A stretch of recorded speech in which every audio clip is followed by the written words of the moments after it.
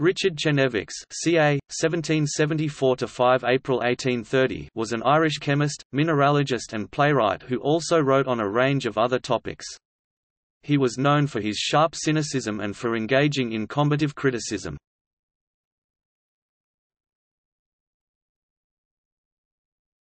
Topic: Early life and family He was born in Ballycommon, Co. Offaly, to Elizabeth Arabin and Lieutenant Colonel Daniel Chenevix of the Royal Irish Artillery. His three ex-great-grandfather, Reverend Philip Chenevix, was a Huguenot settler who left France after Louis XIV's Edict of Fontainebleau revoked the earlier Edict of Nantes which had given additional rights to Protestants. His great-uncle Richard, and namesake, was the Church of Ireland Bishop of Waterford and Lismore. His sister, Sarah Elizabeth, married Captain Hugh Tuite of Sonna, Co. Westmeath, twice Member of Parliament for that county, on 4 June 1812 he married an aging French beauty of dubious reputation. Countess Jean-Françoise de Rouault, minus 1836, the widow of Comte Charles de Ronald, whom he had met at the home of Sir John Sebright.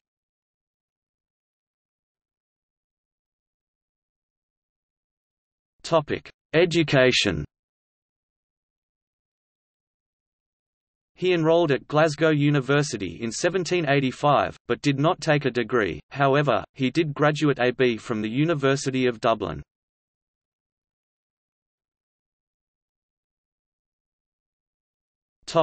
Career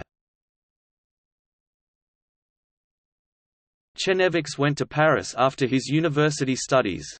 He was imprisoned there for 15 months during the Reign of Terror. While in custody he had two children, also, amongst his fellow prisoners were a number of chemists who wedded his interest in the topic. After his release he studied at three different schools in Paris, gaining skills in chemical analysis. In 1798 he wrote his first paper, in French, analysis of some magnesium rocks in Annales de Chimie. Thereafter, in journals both sides of the Channel, he reported analyses of hydrochloric and sulfuric acids, compounds of lead, copper, iron, arsenic, carbon and sulfur and crystals of corundum including sapphires and rubies.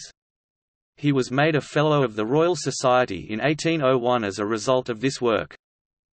He wrote a paper in England in 1802 supporting French neologist-inspired changes to chemical nomenclature. During a year in Germany, he published criticisms of the work of groundbreaking scientists, Danish chemist and physicist Hans Christian Oersted and the German physicist, chemist and mineralogist Christian Samuel Weiss. In 1803, in the Philosophical Transactions of the Royal Society, he published a paper asserting that the palladium that the English chemist William Hyde Wollaston had extracted from platinum ore the previous year and had announced and offered for sale anonymously was in fact an alloy of mercury and platinum.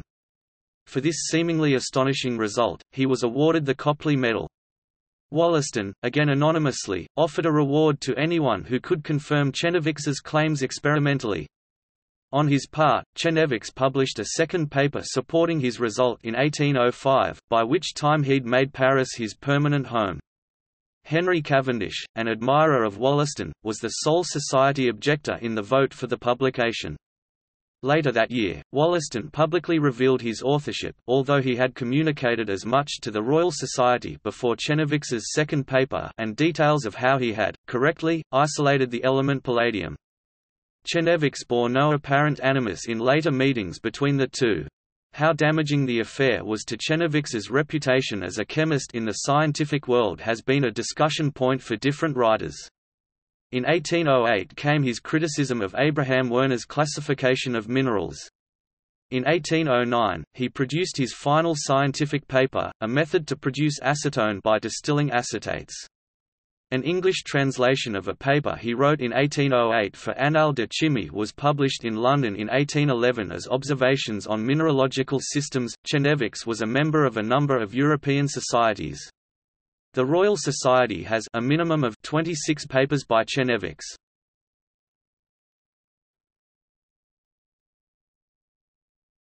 Topic: Phrenology and mesmerism. In November 1807, he attended the Paris lectures of the phrenologists Gall and Spurzheim, and, in 1828, published a review on Gall, Spurzheim, and phrenology. Spurzheim was so impressed with Chenevix's review that he sought and was granted permission to immediately reprint the article as a pamphlet, with 12-page appendix of his Spurzheim's own notes. In Paris, in 1816, he met Abbe Faria, who reawakened an interest in animal magnetism that had been dormant since Chenevix's visit to Rotterdam in 1797. In 1828, on a visit to Ireland, he began to practice mesmerism. He wrote extensively of his experiences in a series of papers published in the London Medical and Physical Journal in 1829. Also in 1829, he gave a series of lectures and demonstrations of mesmerism in London that were attended by such eminent medical men as Sir Benjamin Brodie, William Prout, Henry Holland, Henry Earle, and John Elliotson.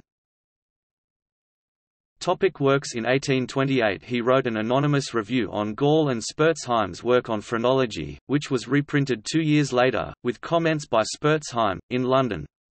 The Edinburgh Review and Foreign Quarterly Review printed his various economic and cultural articles on France and England, 1802, dramatic poems, Leonora, a tragedy, and Ether and Aedolo, a dramatic poem 2nd edition, London, W. Bulmer & Co., 1812, two plays, Mantuan Revels, a comedy, in five acts, Henry VII, and historical tragedy, in five acts, J. Johnson & Co., 1828, Gall and Spurzheim, Phrenology, The Foreign Quarterly Review, Volume 2 2, number 3, pp.1 to 59, 1829, on mesmerism, improperly denominated animal magnetism, London Medical and Physical Journal, volume 61, number 361, March 1829, pp.219 to 230, number 364, June 1829, pp.491 to 501, volume 62, number 366, August 1829, pp.114 to 125, number 367, September 1829, pp.210 to 220, number 368, October 1829, pp.315 to 324, 1830, Phrenology article of the Foreign Quarterly Review, by Rich.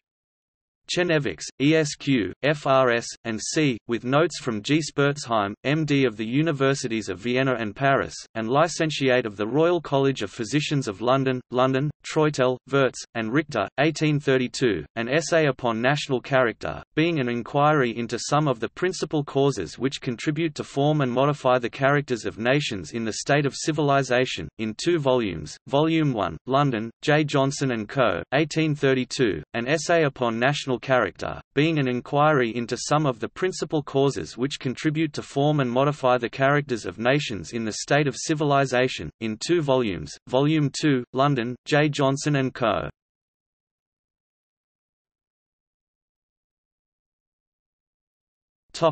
Death He died in Paris on 5 April 1830, and was buried in the Père Lachaise cemetery.